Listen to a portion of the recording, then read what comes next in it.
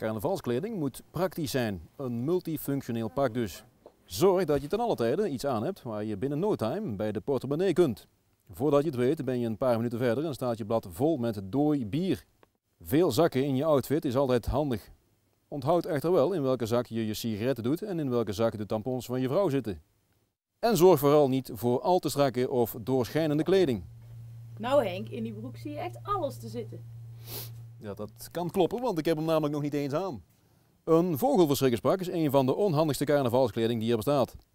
Je kunt je moeilijk bewegen of draaien en bier drinken kun je al helemaal wel vergeten. Datzelfde geldt ook voor een masker. Wel leuk om onherkenbaar te blijven, maar echt zat zul je niet worden. Mocht het echter de bedoeling zijn om niet dronken te worden, zorg er dan voor dat het een niet al te afschrikwekkend mombakkers is. Maar we zijn natuurlijk wel heel benieuwd welke creatie dit jaar het meest wordt verhuurd voor carnaval. Henk Huppelschoten, hè. het is natuurlijk alles Henk Huppelschoten wat de klok slaat. Ik kijk naar Huppelschoten als hij het weer voorspelt. Ik hou het op het weer van Henkie, want Henk is mijn held. De winter wil maar niet echt doorbreken deze winter. Het lijkt het Ajax-talent wel. Dat wil ook niet doorbreken.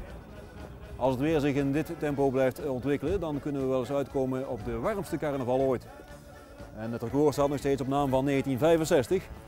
Toen tijdens de optocht van Breda de mussen werkelijk van het dak vielen.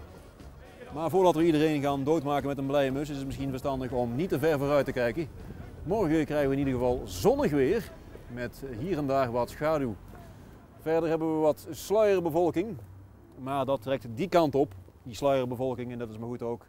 Beter dan landinwaarts, zeg ik altijd maar. En dan flikker ik nog eventjes een weerspreukje tegenaan. Stap niet zomaar naar buiten na een avondje carnavallen, want voor je het weet heb je een longontsteking aan je ballen. Zo. Ik kijk naar Huppelschoten als hij het weer voorspelt. Ik hou het op het weer van Henkie,